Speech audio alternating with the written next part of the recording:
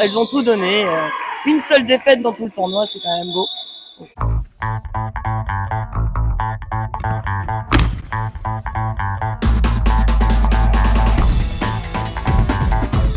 Dans quel euh, établissement enseignez-vous?